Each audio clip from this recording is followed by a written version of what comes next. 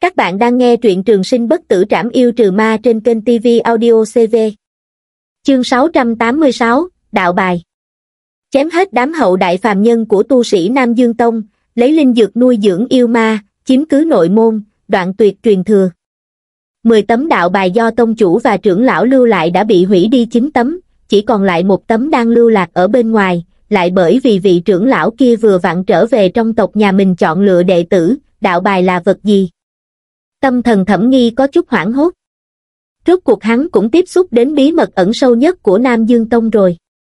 Ngài có thể hiểu là trưởng lão lệnh hoặc là tông chủ lệnh, khi sử dụng vật này, có thể khởi động toàn bộ trận pháp của Nam Dương Tông.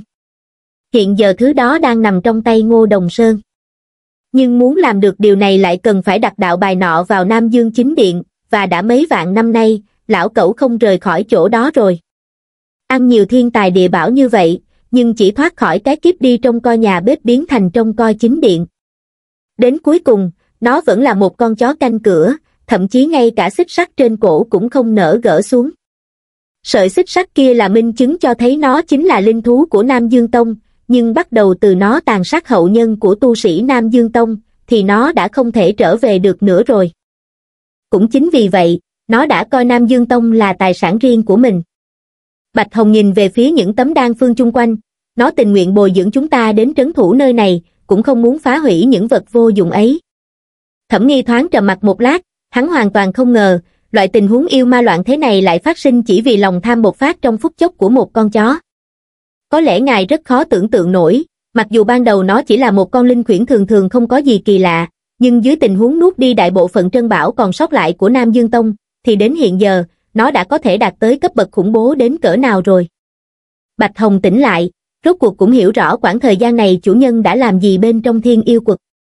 Nhưng ngay cả khi như vậy, nó cũng không cho rằng có người đủ khả năng để chân chính giao thủ với lão cẩu kia. Chủ nhân của ta, không nên vạch trần chuyện này, nếu không một khi để lão cẩu biết được công pháp đan phương đã bị tiết lộ ra ngoài, khẳng định là nó sẽ không ngại tái hiện lại một lần tàn sát như năm đó. Ta hiểu rồi. Thẩm nghi thu hồi ánh mắt. Mắt thấy Long Dược Thiên tẩn đang kẹt lại ở cảnh giới đại thành, hắn dứt khoát lấy ra đống đan dược đã cướp đoạt lúc trước rồi gọi huyền minh chu hoàng tới, giúp ta nhìn xem trong này có bảo dược tu tập linh khu pháp hay không. Có lẽ là vận khí tốt, cũng có thể là đám yêu ma kia không quá ưa thích loại đan dược chuẩn bị cho công pháp này, cũng không biết nguyên nhân thực sự là gì chỉ biết một lát sau huyền minh chu hoàng lại thật sự từ lấy được một lọ xích dương dục linh đan từ trong đó. Thật ra linh khu pháp và thối thể pháp có điểm giống nhau. Đó chính là tra tấn thân thể, chỉ có điều phương thức lựa chọn có phần khác biệt mà thôi. Bạch Hồng đưa ánh mắt đầy kiên kỵ liếc nhìn bình đan dược kia, hiển nhiên là bản thân nó đã nếm quả đắng bởi loại đan dược này rồi. Không ngờ ở loại thời điểm này, linh căn hỗn tạp của thẩm nghi lại phát huy ra hiệu dụng, và mãi cho tới bây giờ, dường như còn chưa từng gặp phải loại công pháp có thuộc tính không phù hợp với mình. Hóa thần Thần tước niết bàn, chưa nhập môn, thẩm nghi lấy ra một viên đan dược đặt trong lòng bàn tay, cảm nhận được hơi ấm nhàn nhạt kia là lập tức bỏ vào trong miệng. Ngay sau đó, hắn nhanh chóng cảm nhận được sự ấm áp bắt đầu thiêu đốt phần bên trong cơ thể. Đây vốn không phải là hình dung trên phương diện cảm giác, mà là thực sự bùng cháy lên theo nghĩa đen, quanh, ngọn lửa màu vàng bộc phát từ trong ra ngoài, chỉ một thoáng sau đã bao bọc toàn bộ thân thể thẩm nghi. Gần như trong nháy mắt, xương cốt do đạo anh biến thành đã bị thiêu đốt hầu như không còn, để lộ ra ngọc cốt và ngũ tạng linh căn. Năm thứ nhất, ngươi mượn nhờ xích dương dục linh đan, có ý đồ muốn triệt để dung nhập loại dược lực hùng hồn kia vào trong thân thể, thẩm nghi nhìn chúng yêu đang căng thẳng bên cạnh, bờ môi miếm chặt, vẻ mặt bình tĩnh, cố gắng nuốt tiếng kêu đầy đau đớn kia xuống. Đổi lại là tu sĩ khác, chỉ sợ cả đời bọn họ cũng chưa từng trải nghiệm loại tư vị tương tự này. Nhưng thật ra thẩm nghi vẫn ổn, dù sao lúc trước khi tu tập tiên yêu cửu thuế, nỗi thống khổ trong đó cũng không khá hơn bao nhiêu so với hiện tại.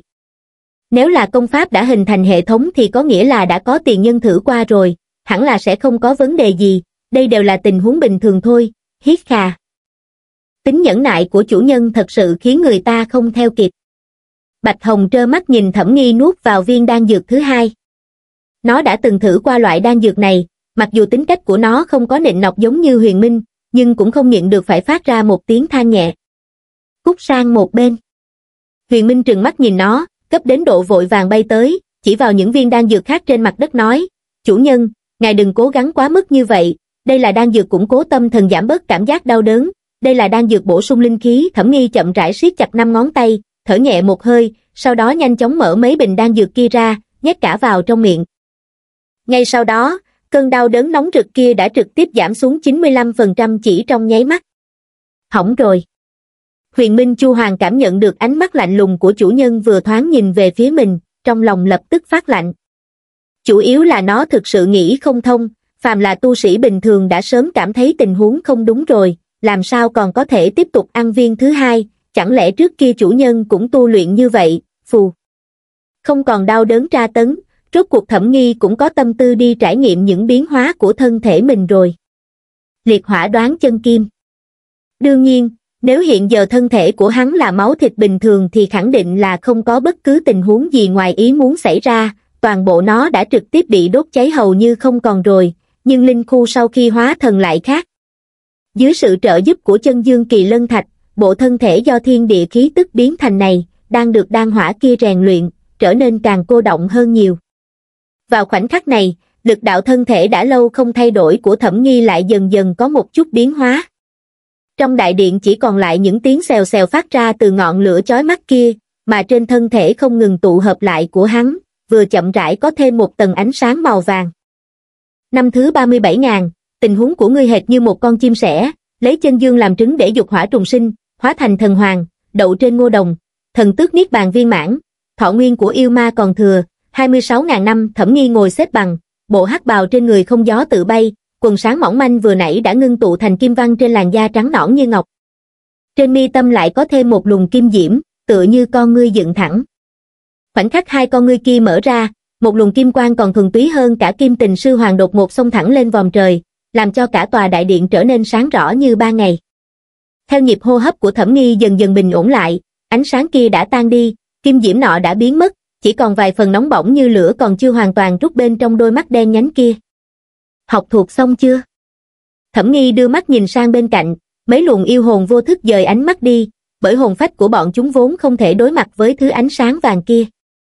Bạch Hồng yêu hoàng yên tĩnh nằm sấp trên mặt đất, chỉ dựa vào bộ linh khu mạnh mẽ này, nếu chủ nhân còn muốn chém chết nó thêm một lần nữa, có lẽ ngài cũng không cần phải tế đạo cung ra. Hồi bẩm chủ nhân, đều nhớ kỹ cả rồi. Huyền Minh Chu Hoàng nhỏ giọng đáp lại. Thẩm nghi cảm nhận được những biến hóa kịch liệt đã phát sinh trên thân thể mình, trong lòng cũng càng thêm chờ mong đối với thiên hoàng bất diệt chân thân tiếp sau đó. Lời nhắc nhở của Bạch Hồng rất quan trọng, hắn không thể tiếp tục tham lam hơn, nếu hiện giờ lại chạy qua cuộc thứ tư một chuyến, cầm dược liệu thì phải nghĩ biện pháp bỏ qua thân phận này mà không làm cho người khác hoài nghi. Nghĩ đến đây, thẩm nghi lại thi triển Nam Dương hóa hình quyết, một lần nữa biến thành con hùng sư cao tám trượng, trực tiếp thu bạch hồng yêu hoàng vào trong màn đêm nằm giữa mi tâm, biến nó thành một con tuấn mã trấn thạch, rồi lập tức thu lại cấm chế đã bày ra ở cửa. Đúng lúc này, một đạo truyền tin mới được thả vào. Hả? Thẩm nghi đưa tay tiếp nhận luồng lưu quan kia, bên trong ẩn chứa một giọng nói coi như quen thuộc, mà nội dung cũng chỉ vẹn vẹn có một câu nói trong mệt mỏi thoáng hiện một chút dịu dàng, dưỡng thương xong thì mau chóng đi ra, ta đang đợi ngươi. Nghe vậy, thẩm nghi hơi nhíu mày lại, mơ hồ có một loại dự cảm cổ quái trong lòng. Hắn do dự một chút, ngay sau đó, U Vĩ Thương đã hóa thành một luồng lưu quang rơi vào trong lòng bàn tay. Hắn cất bước đi ra bên ngoài luyện đan phường. Bên ngoài một tòa đại điện rộng lớn ở chỗ sâu bên trong thiên yêu quật. Chỉ thấy một thân hình sung mãn được một chiếc áo bào màu đen bao trùm hiện ra trước mắt, một đôi cánh vàng nằm ngay bên dưới mảnh đồ văn nam dương kia, được nó tô điểm trở nên càng thêm rực rỡ, vừa thoáng thu hồi lại. Nữ nhân nọ chậm rãi bước lên bậc thềm dài nhìn như một con vân long với khí thế bàn bạc, đứng phía trên bức phù điêu đại nhật kia, nhìn thẳng về phía trước. Có một con chó vàng lưng đen thoạt nhìn bình thường không có gì kỳ lạ, đang lười biếng nằm sấp ngay trước điện, trên cổ nó đeo xích sắt, nhưng một đầu khác của xích sắt lại bị chính nó ngậm ở trong miệng. Nữ nhân kia cung kính cúi người hành lễ, lộ vẻ mặt thành khẩn tha thiết, nói, kim sĩ tham kiến quật chủ.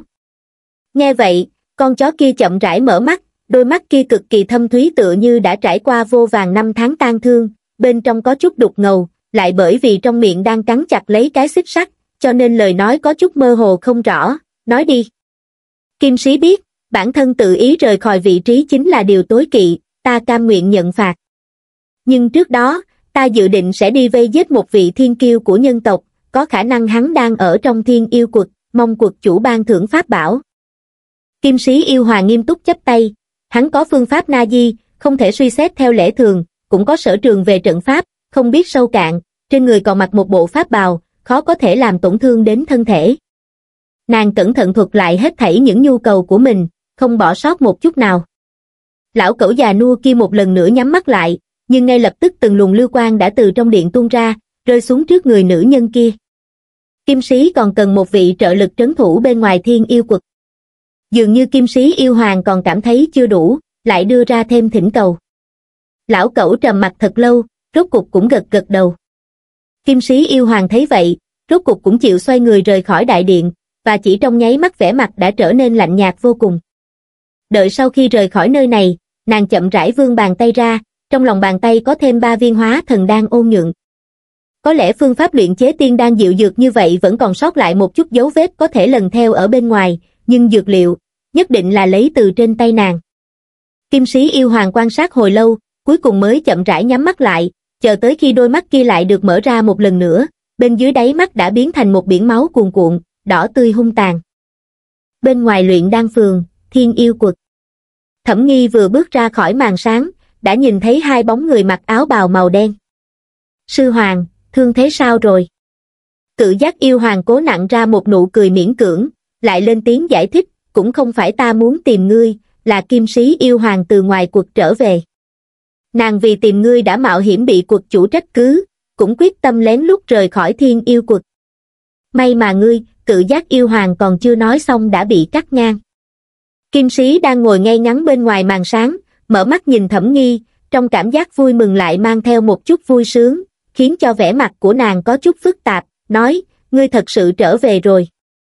Không đợi con sư tử kia đáp lời, nàng đã đứng lên, nhẹ giọng nói, đang dược có đủ hay không, chỗ ta vẫn còn một chút thiên tài địa bảo khác, có thể cung cấp cho ngươi bồi bổ, có gì cần cứ việc nói thẳng ra, không cần phải khách khí.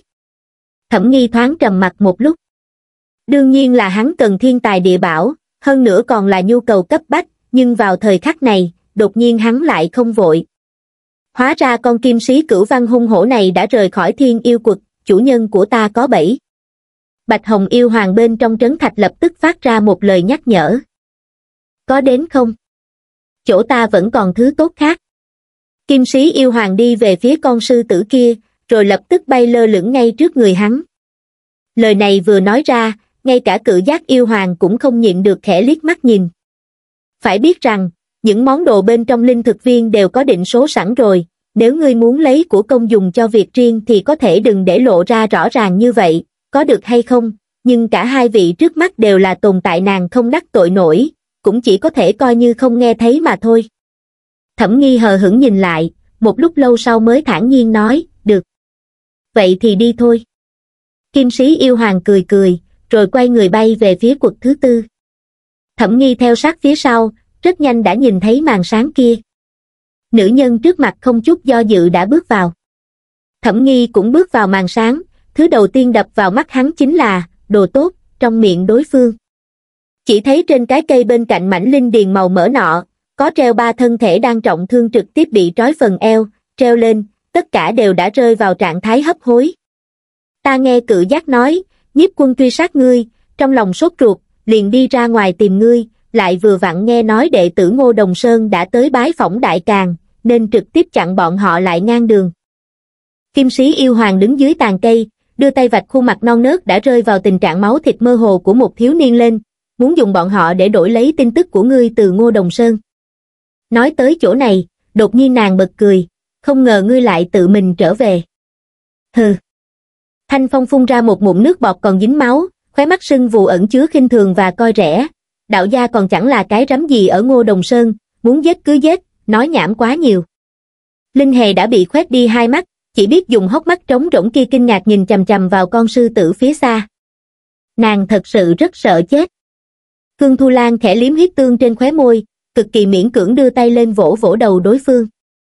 Được nàng trấn an, rốt cuộc biên độ run rẩy của Linh Hề cũng nhỏ đi không ít, tiếng nức nở nghẹn ngào cũng từ từ thu lại. Là ta vô dụng, không bảo vệ được các ngươi phi, còn không phải nàng ta dựa vào pháp bảo sao? Có bản lĩnh thì cởi pháp y, dùng đao thật thương thật đánh một trận với ngươi xem. Thanh Phong lại phun một ngụm nước bọt vào kim sĩ. Vừa hiển nhiên, ngụm nước bọt này không chỉ bị nữ nhân kia tùy tiện tránh đi, mà nàng còn thuận thế đánh ra một chưởng, suýt chút nữa đã trực tiếp đập nát đầu gã. Kim sĩ yêu hoàng xoa xoa tay trên đạo bào của gã, lúc này mới quay đầu nhìn về phía con sư tử đang lộ vẻ mặt hờ hững kia. Ngươi đã trở về thì không cần dùng đến bọn họ nữa, ăn bọn họ đi coi như cho ngươi trút giận. Nói xong, ý cười của nàng càng đậm, bổn hoàng đối đãi ngươi cũng không tệ, đừng quên lúc trước ngươi nói mình muốn thứ gì, hiện tại thời cơ cũng không sai biệt lắm, còn không tới lấy ư, thẩm nghi bình tĩnh đi về phía kim sĩ yêu hoàng. Bước chân của hắn càng tới gần, trong mắt kim sĩ yêu hoàng càng phát sinh một chút dị trạng, rốt cục nó cũng hiện ra một tia sáng lấp lánh, dường như bên trong còn mang theo một loại chờ mong nào đó trộn lẫn với một chút lo lắng mơ hồ. Nếu ta không ăn thì sao? Thẩm nghi cúi đầu nhìn xuống. Kim sĩ yêu hoàng nghe vậy, thoáng trầm mặt thật lâu rồi thở dài nói, có ăn hay không tùy ngươi, nhưng nếu ngươi không muốn, vậy thì theo ta đi gặp cuộc chủ. Dứt lời, nàng ngước mắt nhìn về phía thẩm nghi, bỗng nhiên ánh mắt trở nên sắc bén hơn rất nhiều. Trong tay ngươi là cái gì? Bỗng nhiên thẩm nghi nhìn chầm chầm vào bàn tay của nàng.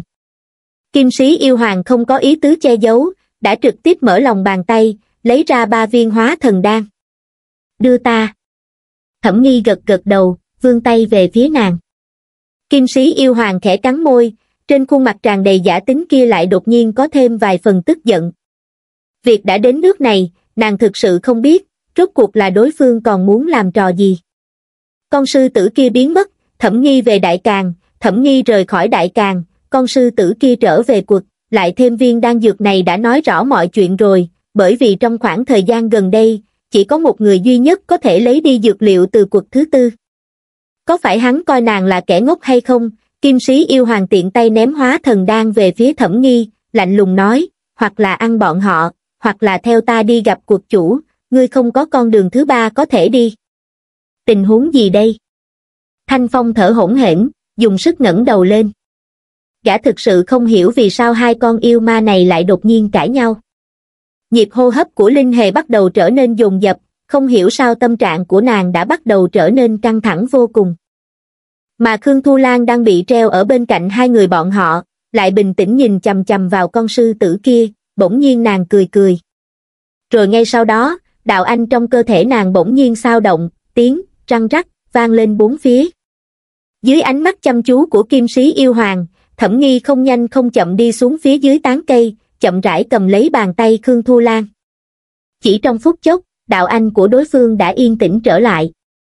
Nam Dương hóa hình thuật cũng bị hắn nhanh chóng thu hồi, một bộ áo bào màu đen hoa mỹ nhẹ nhàng lay động.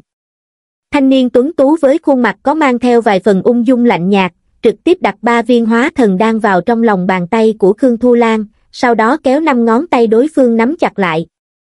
Hắn mở miệng, cất lên giọng nói bình thản, không có lấy một chút gợn sóng nào, sau khi ra ngoài, nhớ phải nhanh chóng phục dụng, đừng làm mất nữa. Ở thời điểm thẩm nghi xoay người lại, đôi mắt đen nhánh của hắn đã bị một mảnh huyết sắc bao trùm. Bước chân của hắn tiến về phía trước, sát khí ngập trời trực tiếp thổi quét tận cửu tiêu. Thẩm nghi đạp không bay lên, chỉ dùng một chữ đáp lại con cọp cái kia, suy. Nghe tiếng cười nhạo quen thuộc ấy, kim sĩ yêu hoàng lập tức nổi giận, nàng biến mất tại chỗ, móng vuốt sắc nhọn lướt ngang về phía thanh niên. Lúc trước, nàng cũng dùng động tác tương tự, khiến tâm thần linh hề sụp đổ, nhưng mà lần này, móng vuốt của nàng còn chưa chạm đến thân thể thanh niên kia, đã bất lực vung lên. Bởi vì cần cổ thon dài của kim sĩ yêu hoàng đang bị năm ngón tay trắng nõn bóp chặt. Nàng trừng to mắt nhìn tới, chỉ thấy thanh niên kia cũng đang lẳng lặng nhìn mình, đóa kim diễm trên mi tâm như kiếm, một đôi tròng mắt lạnh nhạt hệt như tiên linh quan sát trần thế. Nếu không mặc có bộ pháp y che chở, chỉ cần đối mặt với người này, nàng sẽ phải trả cái giá thê thảm. Quanh, kim sĩ yêu hoàng bị hắn tùy ý ném ra ngoài. Động tác của thanh niên này nhìn như hời hợt, lại khiến nàng rơi xuống đất, phát ra một tiếng, ầm vang, làm cho cả mảnh linh thực viên này đều rung rẩy. Thẩm nghi lại phất tay, lưu quang màu đen nhanh chóng chặt đứt kiện pháp bảo đang trói buộc ba người Khương Thu Lan, rồi lập tức rơi vào trong lòng bàn tay của hắn, hóa thành một cây trường thương u ám. Hả? Thanh Phong ngã trên mặt đất, kinh ngạc nhìn bóng người trên không trung kia. rõ ràng đối phương quen thuộc như vậy, nhưng không hiểu vì sao lại có vẻ xa lạ vô cùng. Ánh vàng phản chiếu, áo đen chập chờn. Thanh niên đứng thẳng tắp, với một thanh trường thương trong tay, chỉ xéo về phía yêu ma. Thoáng như nghe lời đồn đại tu sĩ tiên tông vừa tái hiện nhân thế, Thanh Phong còn chưa kịp phản ứng, đã bị Khương Thu Lan ném ra khỏi màn sáng, lại lập tức kéo theo cả linh hề, trực tiếp hóa thành một luồng hàng sương kiếm quang lao ra bên ngoài. Ngươi sẽ không cho rằng bổn hoàng và huyền minh đều ngu xuẩn như nhau chứ? Kim sĩ yêu hoàng chậm rãi đứng lên từ trong linh điền, nhìn về phía chân trời, kim tình đại sư hoàng của ta, hay là thẩm đạo hữu, nương theo giọng nói, Thanh Phong đã lướt ngược trở về, ngăn cản hai nữ nhân kia, cả kinh hoảng nhìn chầm chầm vào màn sáng. Ngay sau đó, cả bốn bóng người cùng nhau bước vào, bọn họ đều mặc bộ hắc bào nam dương trên thân thể, tựa như huyền môn chính tông, nhưng hình dáng lại hoàn toàn khác nhau, bên trên là cái đầu thú dữ tợn, trong tay cầm theo các loại pháp bảo. Khung cảnh quỷ dị khiến người ta phát run. Lúc trước, nhiếp sư huynh từng đối mặt với một đám yêu ma như vậy sao? Thanh Phong nuốt một ngụm nước bọt. Ách, không đúng. Đại yêu đầu hâu lắc đầu nói, lúc trước nhiếp sư huynh của ngươi đâu có đãi ngộ như vậy. Sau khi quật chủ ban thượng pháp bảo, hiện giờ mỗi một đứa trong chúng nó đều không yếu hơn Bạch Hồng yêu hoàng. Sư hoàng, kim sĩ mềm lòng, chúng ta đã cho ngươi cơ hội. Dứt lời, nó hướng về phía bóng người trên bầu trời kia cười nói, nếu ngươi thành thành thật thật nghe lời nàng, thì ngay cả cuộc chủ cũng chưa chắc đã biết được câu chuyện hôm nay, đáng tiếc, ngươi không biết quý trọng. Chơi rất vui vẻ phải không? Đại yêu xà thú thè lưỡi nói, ngươi có thể tiếp tục, chúng ta cũng vui vẻ muốn xem uy nghiêm của sư hoàng thêm một lần nữa. Ban đầu, vào thời điểm thiên túc yêu hoàng ra tay, chúng nó đều ở phía chân trời quan sát. Nghe tiếng ồn ào truyền đến bên tai, thẩm nghi liếc mắt nhìn màn sáng kia một cái, vẻ mặt vẫn bình tĩnh như thường. Kim sĩ yêu hoàng thu phản ứng của hắn vào đáy mắt, đột nhiên trong lòng cảm thấy bi phẫn không thôi, một người như vậy, cả về thực lực lẫn tâm tính đều không thể tìm ra một chút khuyết điểm nào. Vì sao, vì sao hắn lại là người, mà không phải là yêu, bản hoàng đã cho ngươi quá nhiều ưu đãi, hôm nay ta sẽ thu hồi toàn bộ. Ta sẽ nhai nát ngươi từng chút từng chút một, để ngươi triệt để trở thành một bộ phận của bản hoàng. Cùng với một tiếng gào thét bật ra, kim sĩ yêu hoàng đột ngột lấy ra một viên ngọc châu mượt mà, dường như bên trong đang chứa đựng cả một hồ cát chảy. Theo sự thúc giục của nàng, bỗng nhiên trong hồ cát chảy nọ lại xuất hiện thêm bóng người rất giống thẩm nghi. Cùng lúc đó, một cảm giác bao bọc nặng nề trực tiếp tuôn ra trên thân thể hắn, khiến cho hắn nửa bước cũng khó đi. Thanh quan bảo kính Kim sĩ yêu hoàng lại đập vỡ một chiếc gương đồng cao cả trượng, khiến cho linh quang từ trong đó bắn ra dàn trải khắp bốn phía. Kính này có thể trợ giúp bọn họ nhìn thấu đại trận. Chỉ trong chốc lát, nàng lại lấy ra một món bảo vật khác, đó chính là một mũi tên màu vàng với lưu quang tản ra bốn phía. Ngươi đã là sư hoàng, vậy sắc yêu kim tiễn này dùng trên người ngươi cũng coi như phù hợp. Có phải ngươi rất cảm động hay không, vì bản hoàng lại hiểu rõ ngươi đến thế? Hiện giờ ngươi dự định sẽ chạy trốn như thế nào, bỗng nhiên kim sĩ yêu hoàng bay lên không, cùng mấy vị đại yêu hoàng còn lại trực tiếp vây quanh hắn. Đây, đây là loại đãi ngộ gì chứ? Thanh Phong rất quyết đoán không nghĩ tới chuyện chạy trối chết nữa, bởi vì hiện tại, gã cho rằng trừ phi sư phụ mình trực tiếp tới đây, nếu không hẳn là trên thế gian này, không một ai có thể nhặt được tính mạng từ trong vòng vây chặt chẽ như vậy. Rốt cuộc thẩm nghi đã làm gì, lại khiến đám yêu ma này coi trọng hắn đến thế, gã có thể cùng hắn chết dưới thế trận khủng bố như này, đúng là vinh dự đến mức phần mộ tổ tiên cũng phải bốc khói xanh.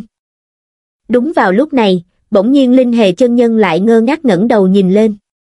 Mặc dù hai mắt nàng đã mất, nhưng cũng chính vì như vậy, mà cảm giác của nàng đối với dao động của linh khí lại càng thêm nhạy bén. Trống. Trống. Trống, bỗng nhiên mấy đại yêu hoàng kia lại nghe thấy những tiếng hung thú thét gào. Đồng thời, một mảnh yêu lực màu đỏ tươi đã xuất hiện ngay phía chân trời. Có một bóng người ngồi ngay ngắn trên bồ đoàn, với chín con tiên yêu vây quanh, mà ở giữa biển máu trống rỗng kia lại có thêm một con tuấn mã trấn thạch như ẩn như hiện. Phá vọng. Thẩm nghi giơ bàn tay lên, biển máu đầy trời hội tụ trực tiếp hóa thành một con ngươi dựng thẳng cực lớn. Ngay trong nháy mắt khi con ngươi dựng thẳng kia mở ra, đột nhiên nơi bị nó chăm chú nhìn vào lại xuất hiện huyết lôi từ trên trời giáng xuống, khí tức mênh mông cuồn cuộn như vậy khiến cho con yêu hoàng xà thú rung lên theo bản năng, nhưng pháp y trên người lại mang đến cho nó một chút dũng khí. Nhưng ngay trong nháy mắt khi nó bị huyết lôi bao phủ, trận pháp được vẽ trên pháp y kia lại mất đi tác dụng, hệt như nó đã sớm bị con ngươi dựng thẳng nọ nhìn thấu, khiến cho huyết lôi thẳng tắp chui vào từ các loại sơ hở đã bị nhìn thấu kia. ầm ầm, thân hình xà yêu bay ngược ra sau, toàn thân co quắp chui thẳng vào trong linh điền. Ba vị đại yêu hoàng còn lại đã sớm tránh ra xa, hướng ánh mắt kinh ngạc nhìn tới, đột nhiên trong lòng không còn cảm giác kiên cường như vừa rồi nữa. Nếu bộ pháp y do cuộc chủ ban thưởng cũng không có hiệu quả, chỉ dựa vào thực lực của bản thân, bọn chúng tuyệt đối không cho rằng đám người mình có thể chiếm được ưu thế gì từ trong tay con sư tử, à thẩm nghi kia. Đi trước đi. Thẩm nghi liếc nhìn Khương Thu Lan. Dưới cái nhìn chăm chú của hắn, mấy vị đại yêu hoàng còn lại đứng tại chỗ do dự, không có bất cứ kẻ nào dám ra tay ngăn cản, ngược lại tất cả đều trừng mắt nhìn chầm chầm vào những con yêu ma khác. Được. Khương Thu Lan ngoan ngoãn gật đầu, sau đó dẫn theo hai đệ tử Ngô Đồng Sơn đầu óc không tỉnh táo kia, nhanh chóng rời khỏi màn sáng. Mắt thấy bọn họ đã biến mất trong linh thực viên, lúc này thẩm nghi mới chuyển hướng, nhìn về phía kim sĩ yêu hoàng, nhẹ giọng hỏi, ngươi đã hiểu rõ ta như vậy, vì sao ngươi lại cho rằng ta sẽ chạy, trong lúc nói chuyện, đôi mắt hắn đã xuất hiện một mảnh tàn nhẫn nồng đậm. Dưới ánh mắt tham lam của hắn, mấy đại yêu hoàng khác đều có chút ngây người, còn không tự chủ được vội vàng lui lại phía sau mấy bước. Hắn, dường như tính cách hắn thể hiện ra khi đóng giả sư hoàng lúc trước vốn không phải là diễn xuất. Sợ cái gì? Đạo cung không có vật trấn, chỉ có khí tức thiên địa trong linh thực viên này, hắn còn có thể dùng được đạo pháp thứ hai sao? Giữ vững cửa quật. Kim sĩ yêu hoàng liên tục gào thét, tiếng nói của nàng giống như một viên thuốc an thần, khiến cho toàn bộ đám yêu hoàng còn lại đều bình tĩnh xuống. Đạo cung, xét cho cùng cũng là thủ đoạn mà chỉ tu sĩ phản hư cảnh mới có thể nắm giữ được. Dù đối phương là tu sĩ hóa thần cảnh có thiên phú cực cao, đã sớm nắm giữ được nó, thì trong quá trình này vẫn có một điểm thiếu hụt trí mạng. Đó chính là không có vật trấn cung. Cái gọi là trấn cung kia, vốn là thứ triệt để trấn trụ đạo cung vốn như ảo ảnh, giống hệt cây lục bình không rễ, ở hình thức ban đầu, làm cho thứ này từ hư thành thật. Nói ngắn gọn, trước khi hoàn thành được một bước này, mỗi lần triển khai đạo cung, đều phải dựa vào linh khí xung quanh một lần nữa ngưng tụ ra. Hạn chế như vậy, nếu ở bên ngoài còn không tính là gì, nhưng ở trong linh thực viên tương đối chật hẹp này, lượng thiên địa linh khí đối phương có thể điều động được cực kỳ bé nhỏ. Bổn hoàng đã bị dọa cho nhảy dựng lên rồi. Lộc thủ yêu hoàng miễn cưỡng cười một tiếng, có lẽ do nhiếp quân năm đó đã để lại trong lòng nó ấn tượng quá mức khắc sâu, nên suýt chút nữa nó đã bị hù dọa rồi. Hơn nữa, bộ pháp y trên người chúng nó vẫn là đồ của trưởng lão Nam Dương, chỉ một tên hóa thần cảnh, không có đạo pháp quỷ dị vừa rồi, thì làm sao có thể đánh chúng bị thương được, suýt nữa đã quên sư hoàng vốn tinh thông lừa gạt, vẫn là bản hoàng sơ sót. Ý niệm tới đây, chúng nó lại một lần nữa tụ tập ngay phía trước màn sáng kia. Giống như lời của kim sĩ yêu hoàng, nơi này mới là con đường sống duy nhất của đối phương. Thẩm nghi lẳng lặng nhìn động tác của đám yêu ma trước mặt. Đạo cung trên trời dần dần biến thành hư vô mờ mịt. Hắn thoáng trầm mặt một cái chớp mắt, sau đó vén tay áo lên, khóe môi nhiều thêm một tia hàng ý, bọn chúng nói đúng, nhưng bọn chúng lại không biết rằng, rời khỏi đạo cung này, từ bỏ đi những môn pháp quyết lung tung rối loạn kia, đây mới là loại đấu pháp mà hắn yêu thích nhất. Bỗng nhiên thẩm nghi nắm chặt u vĩ thương trên tay, thân thương bộc phát ra âm thanh vù vù kịch liệt, tựa như tiếng sấm sét nổ vang, đồng thời thân hình hắn cũng trực tiếp bắn ra, có cảm giác thanh trường thương trong tay hắn đã hóa thành một con dao long dữ tợn, không ngừng lượng lờ tạo thành một luồng u quang màu đen nhánh ở phía chân trời, trông giống như một cái cầu vòng vắt ngang qua hai đầu Nam Bắc. Ngang, một bên đầu cầu hiện ra hình dáng của một cái đầu dao long kinh hồn khiếp vía. Cái đầu dao long nọ hung hăng mở ra cái miệng to như chậu máu, hung hăng nuốt sống con xà yêu đang nằm trên mặt đất vào trong. Mũi thương đâm tới.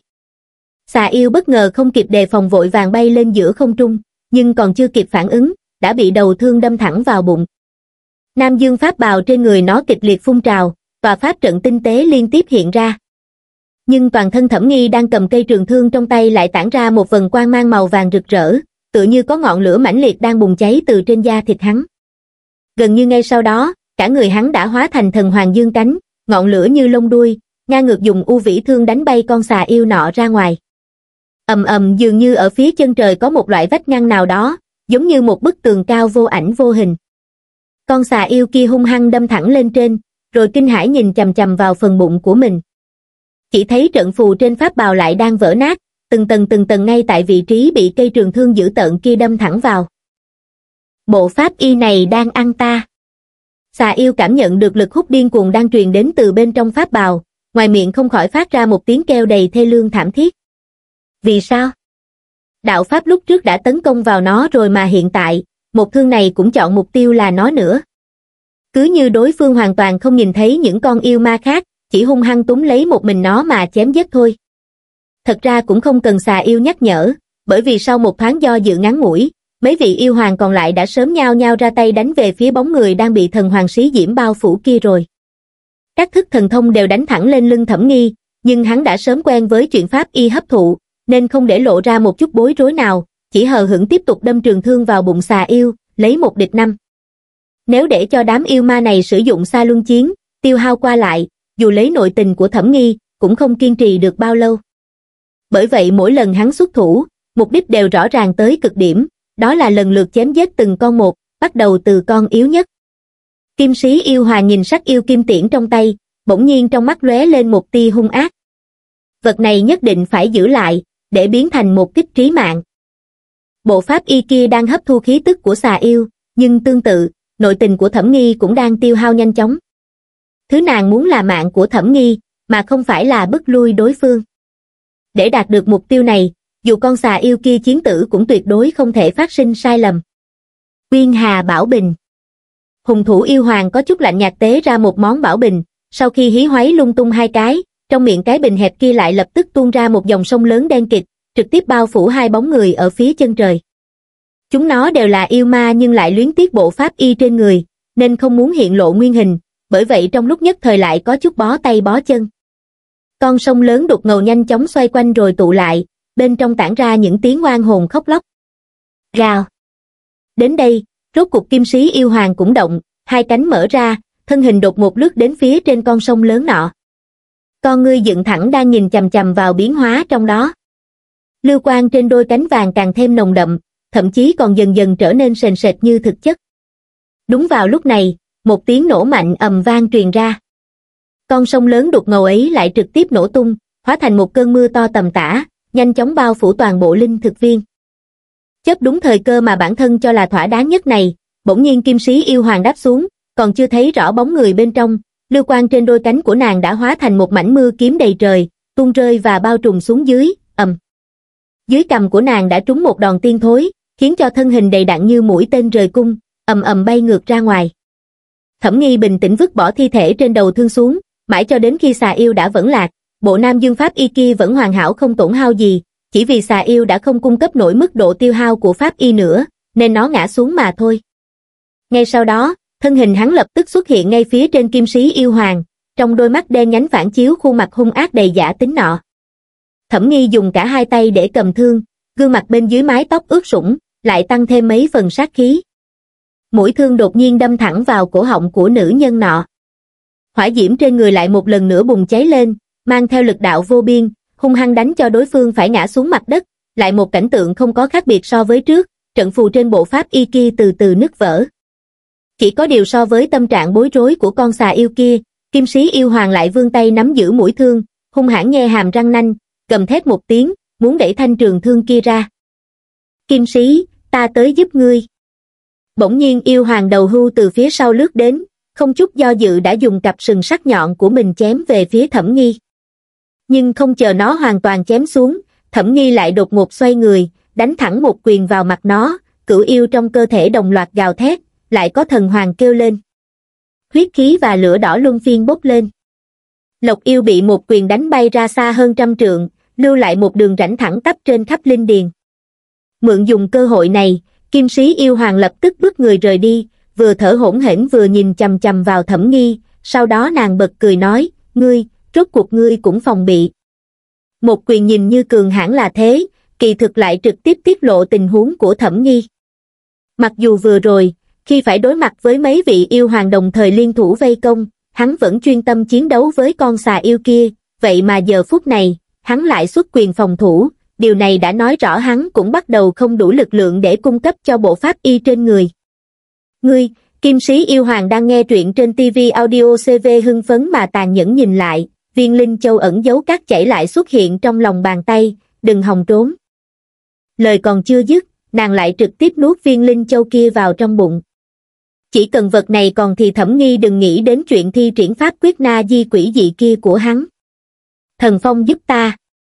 Sau đó, nàng gào thét một tiếng, một miếng ngọc giản truyền tin nhanh chóng chui ra từ trong ống tay áo của nàng. Nhưng bên trong miếng ngọc giản ấy lại không truyền ra tiếng hồi âm, mà ngược lại nó còn trực tiếp vỡ vụn. Vẻ mặt kim sĩ khẽ biến nhưng cũng không để lộ ra sắc thái gì khác thường. Thần phong vốn không phải là thủ đoạn gì, nó chính là tục danh của một con yêu hoàng. Hắn sắp không xong rồi, động thủ. Kim sĩ yêu hoàng lại lấy sắc yêu kim tiễn ra. Ba vị yêu hoàng còn lại chậm rãi tập hợp, tất cả đều loay hoay kích hoạt món pháp bảo trong tay. Thẩm nghi đảo mắt nhìn qua bọn chúng, sau đó hắn lấy ra một đống lớn yêu đang từ trong túi trữ vật, và ngay trước mặt chúng yêu, liên tiếp bỏ vào trong miệng nhai nát. Vết máu còn sót lại nhuộm đỏ đôi môi, khiến cho hàm răng chỉnh tề lộ ra bên ngoài càng thêm phần lạnh lẽo. Trong nháy mắt khi chúng yêu tế ra pháp bảo, bỗng nhiên cánh tay phải của hắn phát lực, trực tiếp ném u vĩ thương trong tay ra ngoài, ầm, được lực đạo to lớn gia trì, u vĩ thương lập tức hóa thành một luồng lưu quang lật tung đám yêu mà trước mặt. Không đợi bọn chúng phục hồi lại tinh thần, thanh niên áo đen kia đã đi tới trước mặt, đóa kim diễm chói mắt giữa mi tâm, song chưởng mang theo ánh lửa hừng hực. Hắn thô bạo đạp lên con hưu yêu, rút xuống từng quyền như cuồng phong mưa rào. Không có huyết tương văng ra khắp nơi, cũng không có âm thanh xương cốt đứt gãy, nhưng trận pháp lại phát ra âm thanh tựa như đang đánh sắt, mỗi lần âm thanh nọ truyền ra đều khiến đám yêu ma run rẩy. Cứu nó! Bỗng nhiên kim sĩ cảm thấy vài phần tuyệt vọng trong lòng. Nàng vẫn chờ đợi thời cơ, mà rõ ràng đã cực kỳ tiếp cận lấy thời cơ đó, nhưng hết thảy mọi thứ lại như mò trăng đáy nước, dù có làm như thế nào cũng khó mà chạm đến được. Nếu lại để cho thẩm nghi chém giết thêm một vị đại yêu hoàng nữa thì đám người bọn họ có thể lấy cái gì ra để giữ chân hắn đây, bốn bóng người cùng nhau lướt lên, hung hăng tấn công thanh niên kia. Phanh! Phanh! Tiếng đánh đập liên tục nổ tung. Bọn chúng đều là đại yêu hoàng đứng hàng đầu trong thiên yêu quật, dù không hiện ra bản thể thì yêu thể mạnh mẽ vẫn mang theo lực đạo hùng hồn không thua kém gì, nhưng vấn đề lại nằm trên bộ pháp bào màu đen nọ. Hai bên đều không phá nổi tầng phòng ngự của đối phương, bởi vậy mà cuộc chiến này lại trực tiếp biến thành một hồi khổ chiến so đấu về nội tình. Trong vườn chỉ còn lại tiếng vung quyền nặng nề, cho đến lần thứ năm thẩm nghi móc ra một nắm yêu đan, trực tiếp nuốt vào. Lần này, ngay cả kim sĩ yêu hoàng vốn có tu vi hùng hồn nhất, bàn tay cũng lão đảo rơi xuống, toàn thân yếu ớt thoát lực, quỳ trên mặt đất, song trưởng chống xuống dưới, nặng nề thở hỗn hển. Thẩm nghi hờ hững nhìn bốn con yêu ma đang nằm dưới chân, u vĩ thương lại xuất hiện trong tay. Nhìn mũi thương sắc bén bức người kia, kim sĩ yêu hoàng lại tự dở cười một tiếng, rốt cục cũng thả ra mũi tên vàng vẫn một mực cất giữ ngay từ đầu. Trong phút chốc, phản phất như có âm thanh cuồn cuộn mênh mông vừa quét qua phía chân trời. Mũi tên kia lặng yên biến mất trong lòng bàn tay của kim sĩ yêu hoàng, ở thời điểm xuất hiện trở lại, nó đã chui thẳng vào lồng ngực của thẩm nghi, để rồi ngay sau đó, lại hóa thành ánh vàng dung nhập vào trong cơ thể hắn. Khi đối diện với sách yêu kim tiễn này, Pháp y lại không làm ra bất cứ phản ứng nào. Đi! Sau khi tiếng kêu bén nhọn của kim sĩ yêu hoàng truyền đến, mấy con yêu hoàng còn lại vội vàng bò dậy từ dưới đất, chật vật chạy về phía màn sáng kia. Nữ nhân kia liếc nhìn thẩm nghi một cái cuối cùng, rồi cũng theo sát mấy con yêu ma ấy. Thẩm nghi lẳng lặng nhìn chúng nó biến mất trong màn sáng. Hắn tiến lên một bước, bỗng nhiên khóe môi có vết máu tràn ra và rất nhanh thấm ướt cổ áo. Nhưng sao động kịch liệt bên trong cơ thể lại không hề ảnh hưởng đến hành động tiến lên bước tiếp theo của hắn. Nếu đã động thủ, làm sao có thể bỏ dở nửa chừng, trong phút chốc, hắn cũng rời khỏi màn sáng. Trốn. Hắn đuổi tới rồi. Đến đây, rốt cuộc lộc yêu đã mất kiểm soát, tâm trí suy sụp. Ngay cả sách yêu kim tiễn cũng không ngăn được bước chân của thanh niên kia, đúng vào lúc này, mấy vị yêu hoàng phía trước lại đột nhiên dừng bước. Chỉ thấy bên trong thiên yêu cuộc vốn đang yên tĩnh, lại bỗng nhiên xuất hiện một biển máu ngập trời, thậm chí biển máu nọ còn dùng tốc độ mắt thường cũng có thể thấy được để nhanh chóng lan tràn ra hơn 500 trượng, hung hãn che khuất bầu trời. Thẩm nghi bước từ chỗ sâu bên trong huyết hải tới, cùng với bước chân của hắn, từng con mắt màu đỏ tươi dựng thẳng cực lớn mà khủng bố lập tức mở ra trên không trung. Có chừng mười mấy con chiếm cứ toàn bộ vòm trời, để lộ ra vẻ quái dị đến kinh khủng. Mãi cho tới khi một tiếng sấm vang lên. Huyết lôi rậm rạp chằng chịt rơi xuống từ phía chân trời, trực tiếp bao phủ phương viên 10 dặm vào trong. Kim sĩ yêu hoàng không chút do dự, vội vàng cởi bộ pháp y kia ra, hiển lộ bản thể khổng lồ của cửu văn hung hổ, dương cánh muốn chạy trốn, lại bị huyết lôi thô to kia ầm ầm đập xuống. Về phần những người phản ứng chậm khác, bọn họ còn trực tiếp bị huyết lôi bao vây lây. Tiếng kêu thê lương thảm thiết không ngừng quanh quẩn bên trong thiên yêu quật. Đây là nơi linh khí dư thừa nhất thế gian, cũng là nơi mà đạo cung có thể bày ra thần uy hùng mạnh nhất. Ánh mắt thẩm nghi có vẻ tan rã, hắn nuốt thứ mùi tanh ngọt vừa trào lên cổ họng vào trong, rồi trầm mặt nhìn huyết lôi cuồn cuộn trước mắt. Vào thời điểm này, bên trong cơ thể thẩm nghi, sắc yêu kim tiễn cũng đang điên cuồng va chạm vào ngũ tạng đạo anh của hắn. Hắn hơi có chút vô lực kéo u vĩ thương theo, để bảo đảm không có bất cứ người sống nào có thể đi ra từ trong đó. Đúng vào lúc này, bỗng nhiên thẩm nghi nhíu mày nhìn về phía chân trời, chỉ thấy một tấm vải màu xám nhẹ nhàng bay tới rồi nhanh chóng biến lớn lên, trực tiếp chặn lại tất cả huyết lôi của hắn.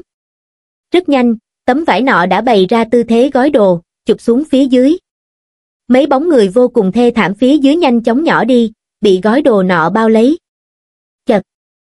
Đôi mắt thẩm nghi bị hắc sát chiếm cứ, gần như không có một chút do dự nào, thân hình đã trực tiếp lao xuống. Rồi dưới ánh nhìn chăm chú tràn đầy kinh hãi của mấy con yêu ma kia, thanh trường thương trong tay hắn đột ngột đâm thẳng vào ngực lộc yêu. Phật, cùng lúc đó, ngay tại cánh cửa tòa đại điện sâu nhất bên trong thiên yêu quật, con chó vàng lưng đen đang lạnh lùng nhìn chầm chầm về phía chân trời. Trong nháy mắt khi một thương cuối cùng này đâm ra, rốt cuộc ánh mắt vẫn luôn bình tĩnh của nó đã xuất hiện vài tia tức giận. Lão cẩu nhe răng. Thân thể suốt mấy vạn năm không rời khỏi đại điện, giờ phút này lại đang chậm rãi vươn ra một chân trước. Động tác đơn giản ấy, lại khiến cho một cái cự trảo khổng lồ đến mức có thể che phủ cả bầu trời, bỗng nhiên hiển lộ ra từ bên trong cái bọc bằng da đang ở nơi cực xa kia. Đối mặt với tình huống bất thình lình này, vẻ mặt thẩm nghi lập tức biến thành dữ tợn, hắn lại một lần nữa đâm cây trường thương trên tay mình xuống trái tim của lộc yêu sâu thêm mấy tấc. Trắc chịu ảnh hưởng bởi cái móng vuốt khổng lồ của con chó kia, u vĩ thương trực tiếp vỡ vụn. Sau đó, cái chân chó kia cũng thuận thế, đập thẳng xuống người thẩm nghi. Bộ hắc bào đẹp đẽ trên người phát ra một tiếng, xoẹt, nhanh chóng tan nát, máu tươi lập tức nhuộm đỏ thân thể trần trụi của thanh niên kia, thi thể lộc yêu bị đánh bay ra ngoài, ầm ầm đập vỡ địa mạch. Gào. Sát khí trong mắt kim sĩ yêu hoàng tăng vọt, nàng trực tiếp tránh khỏi vòng trói buộc của cái túi da kia, chạy thẳng đến vị trí thẩm nghi đang rơi xuống, tên lừa đảo đáng chém ngàn đao này. Chết đi cho bản hoàng. Đến đây, cả cái túi da kia cùng với bàn chân con chó lúc trước đều biến mất trên không trung, chỉ còn lại cửu văn hung hổ đang nổi giận rít gào. Nàng lao xuống núi, chân trước hung hăng vỗ thẳng xuống bóng người đang nằm dưới đất kia. Toàn bộ thân thể thẩm nghi gần như đã vỡ vụn, bị huyết tương nhuộm ướt, nhưng vẫn duỗi bàn tay ra, tùy tiện ngăn cản cái vuốt hổ đánh tới kia. Đúng là hắn đã trọng thương, nhưng vừa rồi kim sĩ đã bị huyết lôi đập trúng, hiện giờ nàng làm gì còn khí lực, rào. Con hung hổ há cái miệng to như chậu máu của mình ra, táp thẳng xuống đầu thanh niên ấy, lại bị một quyền đánh nát xương mắt. Sau đó, thẩm nghi xoay người đứng dậy, đè kim sĩ hổ xuống đất, cả hai đều rơi vào trạng thái thoát lực, chỉ biết điên cuồng lăn lộn trên mặt đất. Đến cuối cùng, quá trình này vẫn kết thúc bằng chiến thắng của thanh niên kia. Thẩm nghi cưỡi trên cổ hổ yêu, một quyền tiếp một quyền đánh xuống đỉnh đầu của nàng, vì sao? Con mắt của kim sĩ cửu văn hung hổ đã nổ tung, bị máu thịt lấp đầy, kiệt lực gào thét, vì sao lừa gạt ta, bản hoàng lừa ngươi khi nào? Thẩm nghi nâng cùi chỏ lên đập nát đỉnh đầu của nàng, bình tĩnh nói, những thứ từng nói lúc trước, ta đều muốn. Nghe tiếng nói vang lên bên tai, kim sĩ yêu hoàng thoáng ngẩn ra đúng một chớp mắt, còn chưa chờ nàng nghĩ cho rõ ràng mọi chuyện, đã lập tức bị thanh u vĩ thương đứt gãy đâm xuyên qua cổ rồi. Phù. Thẩm nghi nằm trên cổ hổ yêu, thở hỗn hển từng ngụm từng ngụm, sau đó trầm mặt đưa mắt nhìn về phía chân trời. Cái chân chó vừa rồi đúng là vượt quá sức tưởng tượng của hắn. Nhưng mà, ngay cả dưới loại tình huống này, nó cũng chỉ đơn thuần là vương một cái móng vuốt ra thôi. Xem ra hắn đoán không sai, sợi xích sắt trên cổ đối phương, còn hữu dụng hơn bất cứ loại pháp bảo nào khác. Vẫn để cho hai con chạy thoát. Thẩm nghi có chút thất vọng, hắn liếc mắt nhìn lão hổ dưới thân, tiêu hao vạn năm thọ nguyên lại tạo ra một pho tượng trấn thạch mới. Chỉ trong một hơi thở, cái xác hổ nọ đã bị hút vào trong đó, trực tiếp hóa thành một bức tượng kim sĩ hung hổ. Kim sĩ hung hổ trấn thạch, chưa chú linh. Thẩm nghi lão đảo đứng dậy, dùng một chân đạp nát viên linh châu cát chảy vừa rơi ra ngoài, nhưng không rời khỏi thiên yêu quật mà lại một lần nữa quay trở về linh thực viên.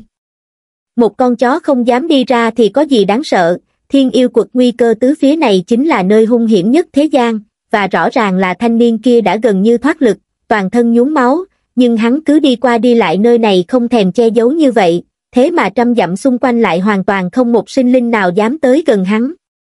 Giết chết kim sĩ cửu văn hung hổ cảnh giới hóa thần, tổng thọ 96.000 năm, còn thừa 21.000 năm, hấp thu xong, đến cuối cùng, một lời nhắc nhở cũng lướt qua trước mắt. Ba con đại yêu hoàng đã dâng lên cho thẩm nghi tổng cộng là 72.000 năm thọ nguyên.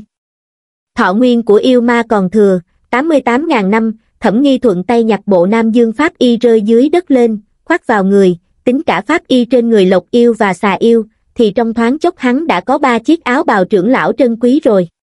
Hắn lột sạch hai con yêu, nhìn chiếc áo bào đen còn mượt hơn tơ lụa trong tay, đầu ngón tay nhẹ nhàng vuốt qua đồ văn Nam Dương theo trên đó, trong ánh mắt có thêm một chút nghi hoặc. Sau khi biết được càng nhiều, hắn lại chợt nhận ra rằng, những chuyện có liên quan tới Nam Dương Tông vốn không đơn giản bày ra trước mắt mình cứ như là vén mây thấy mặt trời, mà ngược lại càng ngày nó lại càng thêm quỷ dị. Món pháp bào từng lấy được trước đó, còn có thể giải thích được, là chấp sự đã sớm chuẩn bị xong cho lễ mừng thọ nhưng đột nhiên gặp phải đại biến, cuối cùng không thể mang tặng ra ngoài, nhưng những thứ hiện giờ thì phải giải thích như thế nào đây? Pháp y vốn không phải phục sức bình thường, còn cần thay giặt dù có thêm mấy bộ dự phòng, cũng không giàu đến mức mỗi con yêu ma đều có được một món chứ, còn những món pháp bảo đang dược kia, đều sắp diệt tông rồi. Bọn họ lại quyết tâm đặt chúng vào trong kho ăn bụi hả, thậm chí những động phủ còn sót lại của các đệ tử kia nữa, bên trong có đủ các loại trân bảo để cho đám tu sĩ bên ngoài đi tới thăm dò suốt mấy vạn năm, đã nuôi dưỡng nên vô số thế lực lớn nhỏ. Dưới tình huống bình thường, nếu bọn họ thực sự rơi vào nguy cơ diệt tông, chẳng lẽ không nên lấy tất cả mọi thứ ra để dùng sức chống cự với địch nhân sao, mà kể cả khi thật sự không địch lại, cũng nên mang theo toàn bộ bảo vật chạy trốn mới đúng. Tình huống bây giờ càng giống như, một đống tu sĩ tông môn ăn lẩu ca hát, sau đó, chỉ trong nháy mắt tất cả đều bốc hơi, lưu lại một cái tiên tông tĩnh mịch nhưng hoàn chỉnh, ngay cả pháp trận hộ tông cũng hoàn hảo không chịu chút tổn hại nào. Đạo bài, thẩm nghi đứng trước quật thứ tư, thoáng trầm ngâm một lát, rồi lập tức ngước mắt nhìn quanh bốn phía. Từ sau khi đạo cung đạt tới cực hạn, bỗng nhiên hắn cảm nhận được một loại tâm tình nào đó là người ta nóng nảy cứ dâng lên trong lòng, giống như một đứa hài tử đang lớn lên lại bị cưỡng ép nhét vào một cái bình chật hẹp vậy. Và loại cảm giác ngạt thở kia đến từ chính mảnh thiên địa này. Tuy trước mắt là màn trời trong veo mênh mông vô bờ nhưng lại có vẻ hư ảo chật chội như vậy. Thẩm nghi thu hồi ánh mắt, so với tâm cảnh hư vô mờ mịt nọ thì tình huống thân thể hắn bây giờ mới càng thêm ác liệt. Sắc yêu kim tiễn đã hóa thành các sáng vốn không biến mất theo thời gian trôi qua, mà ngược lại thời gian trôi qua nó lại càng thêm hung hãn, dần dần ngưng tụ thành một loại gông xiềng đặt ngay chính giữa ngũ tạng của hắn, sau đó triệt để phong kín chúng nó lại. Thẩm nghi mở bản giao diện ra, bắt đầu đổi yêu ma bản nguyên, liên tục đưa bốn miếng vào, hồn phách của kim sĩ cửu văn hung hổ chậm rãi bị hắn đưa vào trong trấn thạch. Ngay sau đó, một con kim sĩ yêu hổ sau lưng mọc ra đôi cánh đã hóa thành lưu quang bắn ra từ bên trong mi tâm của hắn, rồi dập đầu xuống đất nói, kim sĩ tham kiến chủ nhân. Giọng nói vô cùng cung kính, nhưng nó không hề muốn ngẩng đầu, chỉ yên lặng nhìn trầm trầm xuống chân trước, cũng không biết có cái gì đẹp mắt mà xem. Thương tổn do mũi tên vàng kia lưu lại nên tiêu trừ như thế nào? Thẩm nghi nghiêng mắt nhìn lại. Kim sĩ không biết. Con hổ cái càng đập đầu xuống đất, làm vang lên âm thanh rầm rầm, là kim sĩ làm hại chủ nhân, tội đáng chết vạn lần, mời chủ nhân ban cái chết cho ta, hai mắt thẩm nghi hiếp lại, khí tức nguy hiểm tràn ra trong con ngươi đen nhánh.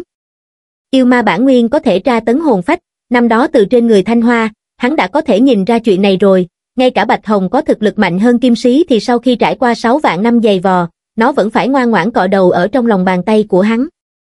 Hắn cũng không hoài nghi kim sĩ yêu hoàng đang lừa gạt mình, dù sao cũng có trấn thạch giam cầm rồi. Đám sinh linh này tuyệt đối không có một chút năng lực phản kháng nào. Thứ khiến thẩm nghi cảm thấy không thích hợp chính là thái độ của nó. Hắn tùy ý đi tới trước người con hổ cái kia rồi đột nhiên túng lấy đầu đối phương, hờ hững nhìn chầm chầm vào mắt nàng.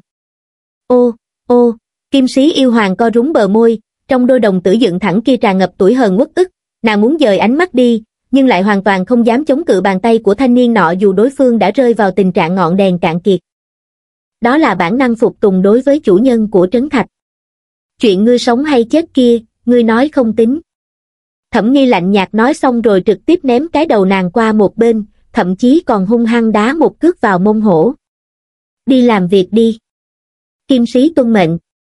Kim sĩ yêu hoàng ấm ức trên rỉ một tiếng, lại tiếp tục cúi thấp đầu, sau đó vô cùng ngoan ngoãn nghe lời đi vào trong mảnh linh thực viên bừa bộn. Không cần biết là ở trong dáng vẻ con sư tử kia hay là ở trong dáng vẻ thanh niên tuấn tú này, đối phương vẫn là tồn tại bá đạo vô cùng, không cho phép người khác nêu ra bất cứ nghi ngờ gì, dù nàng chỉ đơn thuần là không muốn nhìn thẳng vào ánh mắt của hắn, thì đó cũng là hành động mạo phạm đến uy nghiêm của chủ nhân. Ý niệm tới đây, nàng lại đưa mắt nhìn về mảnh linh điền phía trước. Chủ nhân nói cũng không sai. Giọng nói một mực quanh quẩn bên tai nàng từ bốn vạn năm trước, trước khi nàng chết đi, vẫn vang lên vô cùng rõ ràng. Nàng và cuộc thứ tư, đến cuối cùng vẫn trở thành đồ vật của hắn. Thẩm nghi có chút tiếc nuối khi nhìn chầm chầm vào mảnh linh điền bị hư hao kia, cùng với các loại thiên tài địa bảo phải chịu ảnh hưởng bởi trận chiến lúc trước. Được rồi, vốn dĩ nơi này đã bị đám yêu ma soàn soạt ăn hết 8-9 phần rồi, có thể cầm được bao nhiêu hay bấy nhiêu. Hắn ngồi xếp bằng, lại một lần nữa điều động thọ nguyên của yêu ma rót vào vô lượng yêu hoàng cung. Năm thứ nhất, ngươi để hung hổ trấn thạch vào trong đạo cung, mượn nhờ huyết mạch của nàng, lĩnh ngộ đạo pháp thần thông mới, vạn yêu triều bái. Chấn phách, đạo cung của ngươi càng thêm vững chắc bên ngoài thiên yêu quật. Khuôn mặt nam nhân kia xuất hiện màu đỏ thẫm, bên trên không có mắt mũi, cả khuôn mặt chỉ có duy nhất một cái miệng cực lớn, răng nhọn phủ kín khoang miệng. Gã cởi trần, trên đôi chân phủ lông dài màu xanh dày đặc, cái móng cực lớn, tứ chi và trên người đều dán đầy phù lục. Gã vỗ vỗ bả vai, đã có mấy tấm đạo phù cháy đen hóa thành cho bụi tản đi, kiếm của ngươi vẫn sắc bén như trước đây.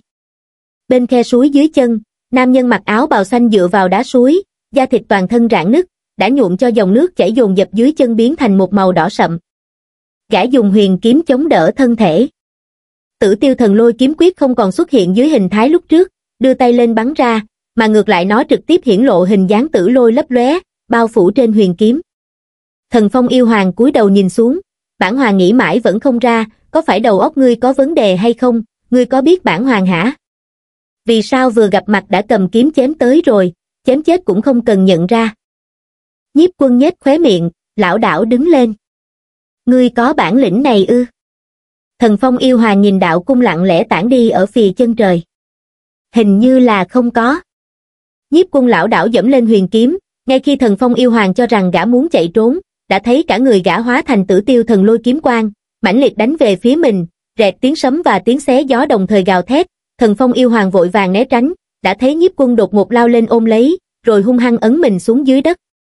Huyền kiếm mang theo lôi quang cũng từ phía dưới nổ bắn đến, trực tiếp xuyên qua thân thể bọn họ. Hai bóng người, rầm rầm, đập thẳng vào dòng suối, bắt đầu phát sinh chiến đấu cận thân, quyền quyền đến thịt. Mẹ nó, ngươi đúng là có bệnh. Thần phong yêu hoàng nện một quyền lên mặt nhiếp quân, còn chưa nói xong, đã thấy đối phương giống như một con chó điên bu lại, cắn một miếng vào mép cái mồm to như chậu máu của nó. Soạt, khóe miệng thần phong yêu hoàng vừa có thêm một lỗ thủng, khuôn mặt càng dữ tợn gấp mấy lần lúc trước. Phi. Nhiếp quân vừa phun ra mấy cái răng nhọn sắc bén, trên mặt lại trúng thêm một quyền. Thần phong yêu hoàng trở tay rút thanh huyền kiếm đang đâm xuyên trên người mình ra, chỉ nghe, phù, một tiếng đã hung hăng chém xuống bả vai nhiếp quân, lưỡi kiếm khảm vào bụng gã, thiếu chút nữa đã chém gã thành hai đoạn. Sau đó, con yêu ma này một mực nhìn chầm chầm vào con chó điên vẫn đang cắn vào cổ mình không nhả ra, cắt lên một tiếng, cút ngay, nó bung chui kiếm ra, có chút vô lực đạp đối phương bay thẳng đến đầu kia của dòng suối. Con mẹ nó, ngươi cũng được coi là tu sĩ hả, liên quan gì đến ngươi? Ánh mắt nhiếp quân thoáng trở nên mơ hồ, toàn thân ngâm trong nước suối, cả thở hỗn hển hai hơi rồi lại một lần nữa đứng lên, nhưng chưa đi được hai bước, cả người đã ngã xuống. Thần phong yêu hoàng hít sâu hai hơi, đang chuẩn bị đi về phía gã lại phát hiện rõ ràng là nhiếp quân đang ở hạ du, nhưng tại sao lại có huyết tương lẫn nước suối chảy qua dưới chân mình, nó vô thức xoay người nhìn lại. Chỉ thấy một thanh niên với thân hình thẳng tắp đang khoanh tay đứng tại một nơi khác của dòng suối. Bộ hát bào rộng thùng thình, có vẻ không vừa người đang bị gió núi cuốn bay, ngay cả y phục đối phương cũng không mặc cho tử tế, cứ để lộ ra một mảnh huyết nhục mơ hồ, thậm chí trên cơ thể rắn chắc kia còn xuất hiện vài lỗ thủng kinh người. Trong nháy mắt khi nhìn thấy bộ pháp bào nam dương kia, da mặt thần phong yêu hoàng thoáng co giật hai cái. Thôi hỏng rồi, xảy ra chuyện rồi. Sao có thể như vậy được, đám súc sinh kia mặc trên người mấy bộ pháp y tốt nhất, lại cầm các loại pháp bảo trên tay, thậm chí còn chiến đấu ngay dưới cái nhìn chăm chú của lão cẩu, thế mà cuối cùng vẫn đánh thua, đánh thua thì cũng thôi đi. Nhưng thanh niên này, nhìn như thương thế trên người rất nặng, nhưng vẻ miệt thị trên mặt lại không giống như giả vờ. Hắn hoàn toàn không để nó vào trong mắt, hiển nhiên là hắn vô cùng tự tin với thực lực của bản thân. Cuối cùng, nó cũng đợi được đối phương mở miệng. Cút! Thanh âm không lớn, nhưng đối với thần phong yêu hoàng, đây tuyệt đối là một tiếng quát to đến đinh tai nhức óc. Ngay sau đó, nó trơ mắt nhìn thẩm nghi đi về phía mình. Lạch cạch, lạch cạch, lạch cạch. Trong bầu không khí yên tĩnh này, tiếng nước suối văng lên tung tóe lại có vẻ khá chói tai. Thanh niên mặc áo bào đen kia không nhanh không chậm lướt qua thần phong yêu hoàng, thậm chí còn không để lại cho nó một tia dư quan nào trên khóe mắt, cứ thế đi đến bên cạnh nhiếp quân, lập tức nắm chặt y phục trên người gã, xách lên. Mãi tới giờ khắc này, cuối cùng thẩm nghi cũng chịu ngoái đầu lại, nhẹ nhàng liếc mắt nhìn thần phong yêu hoàng một cái. Thần phong yêu hoàng thoáng liếc mắt thăm dò tình huống sau lưng. Cùng lúc đó, một sợi tinh hồng tựa như mực nước nhanh chóng thấm xuống nước suối, rồi dùng tốc độ mắt thường cũng có thể thấy được trải rộng về phía chân trời, chỉ trong giây lát, đã lan tràn ra hơn 500 trượng. Rất nhanh, thần phong yêu hoàng đã bị cái nhìn của chính đôi mắt bao phủ, chính con tiên yêu không ngừng ngục lặng trong biển máu, mang theo sát khí đằng đằng. Ngoại trừ chuyện này, hai cái tượng đá cao ngất tựa như vừa sống lại, cũng hờ hững nhìn về phía nó. Phù. Thần phong yêu hoàng liếc mắt nhìn số phù lục còn thừa lại không nhiều lắm trên người mình, lại thêm áo bào màu đen thoáng chập chờn trên người thanh niên kia, cuối cùng nó cũng sinh lòng thoái ý, bởi bất kể như thế nào cứ về thiên yêu cuộc hỏi tình huống trước rồi nói sau. Không để lại bất cứ một lời nói nào, thần phong yêu hoàng đã trực tiếp quay người lao về phía xa, mãi cho đến khi bóng dáng của nó hoàn toàn biến mất không thấy gì nữa, tòa đạo cung trên không trung cũng nhanh chóng rút đi. Trong lòng thẩm nghi thoáng có chút buồn bực, ngũ tạng của đạo anh không ngừng co giật, trên ngực hắn xuất hiện những đường vân màu vàng, trực tiếp phủ kín toàn bộ thân thể. Vào thời điểm này, tại thức hải của hắn, hai bức tượng trấn thạch vẫn một mực vận sức chờ phát động, rốt cục cũng không nhịn được mà lên tiếng kinh hô. Nếu vừa rồi thần phong yêu hoàng có chút dị động nào đó, thì đấy cũng là thời khắc hai đứa chúng nó trực tiếp động thủ ngăn chặn đối phương, để cho chủ nhân rời khỏi nơi này. Kim sĩ hung hổ hiện thân, vội vàng chống đỡ thân thể của thẩm nghi, nhẹ nhàng dùng đôi cánh vàng của mình phủ lên người hắn. Sắc yêu kim tiễn. Nhiếp quân mờ mịt mở mắt, nhìn chuỗi hoa văn màu vàng trên người thẩm nghi, và không một câu nói nhảm, gã trực tiếp bấm pháp quyết. Theo động tác của nhiếp quân, chuỗi kim văn vốn đang phủ kín thân hình kia đã chậm rãi tụ tập lại thành một luồng. Bàn tay nhiếp quân run rẩy kịch liệt, lại cưỡng ép điều động khí tức, khiến cho đôi mắt của gã tối sầm đi rất nhiều. Không biết đã qua bao lâu, gã mới đứt quãng đánh ra đạo pháp quyết thứ 9. Đến đây, rốt cục luồng kim mang kia cũng chậm chạp bay ra từ lồng ngực thẩm nghi, và một lần nữa ngưng tụ thành một mũi tên vàng. Nhiếp quân vừa trông thấy cảnh này cũng dứt khoát hôn mê bất tỉnh. Lại có thu hoạch ngoài ý muốn. Thẩm nghi thuận tay thu sắc yêu kim tiễn vào bảo cụ trữ vật rồi lập tức nuốt từng viên từng viên yêu đang bồi bổ. Mặc dù ngũ tạng đạo anh vẫn bị tổn thương dưới kim mang kia, thì ít nhất là vẫn miễn cưỡng có thể vận dụng được.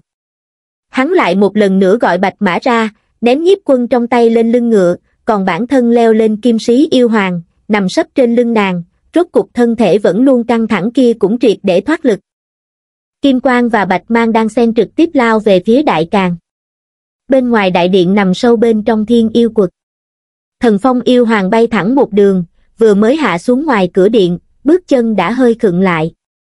Chỉ thấy hai đại yêu hoàng đang quỳ gối bên ngoài cửa điện, cự giác yêu hoàng có chút thận trọng, nơm nớp đứng ở bên cạnh, ngay cả thở mạnh cũng không dám. Vất vả lắm, lão cẩu kia mới cởi được khúc mắt trong lòng, mà từ trong đại điện bò ra bên ngoài thềm đá, nhưng giờ phút này, nó đã trở về bên trong đại điện rồi. Với tu vi của đối phương, khoảng cách ngắn ngủi mấy bước này vốn không thay đổi được cái gì. Hành động của lão cẩu, chỉ có thể chứng minh rằng nó vừa một lần nữa trở nên cảnh giác rồi. Rõ ràng đôi bên bị ngăn cách bởi một cánh cửa đại điện nhưng thần phong yêu hoàng vẫn có thể ngửi được mùi sát khí nồng đậm. Thân là yêu hoàng của cuộc thứ hai, năm ấy nó đã tận mắt chứng kiến lão cẩu rơi vào trạng thái cảnh giác, và hành động tàn sát của đối phương vào khoảng thời gian ấy kinh khủng tới cỡ nào. Phàm là tồn tại có chút quan hệ với tu sĩ Nam Dương Tông, đều quét sạch một đường, chó gà không tha. Từ tu sĩ sắp bái nhập tông môn, cho tới trẻ con vừa mới sinh nở, ngay cả linh thú do bọn họ nuôi dưỡng, nó cũng ăn đến không còn một mống. Trừ chuyện đó, thì lần thứ hai đối phương ra tay cũng chính là lúc trước, khi Ngô Đồng Sơn muốn dùng cái tên Nam Dương Tông này.